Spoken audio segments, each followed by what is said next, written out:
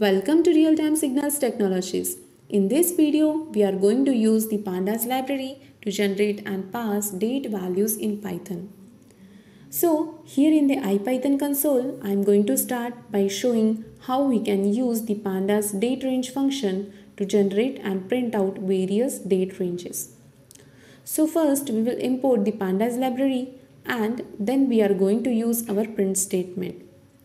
So here in this print statement, we are going to print a date range such that we are going to start with the 1st of January 2016 and we are going to print the first 36 days in that year.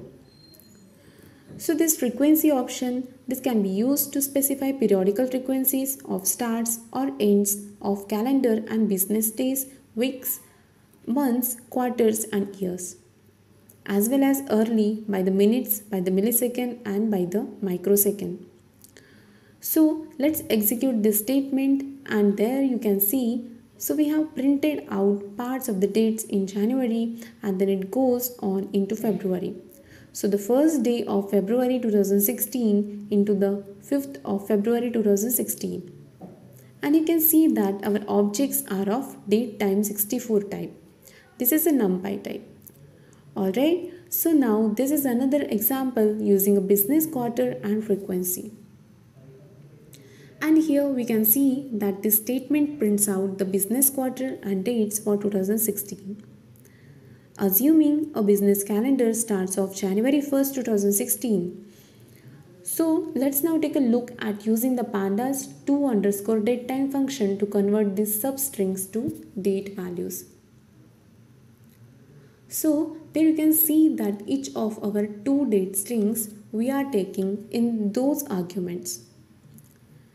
And then in the past you could see that they were parsed as the first four characters in the string being the year, the next two being the month and the next two being the day. So that's indicated in the value of the formats option. Now we may also use the errors option so as to force parsing invalid date strings to NAT or not a time. So uh, we see that in executing the statement, the first string is a valid datetime string and so the parse is successful there. We successfully parsed it to be 2016 September 15. But the second value is not a valid date string and so this value got parsed to be NAT that is not a time. Now we can also assemble a date time 64 object from multiple columns of a pandas data frame. So let's just create this data frame. Okay, so uh, we have created this data frame with three series. First we have the series name year and we have two values 2014 and 2015. And the next series named month we have these two values 7 and 2. So those are going to be July and February respectively. And then in the next series we have its name, day and we have 28 and 16.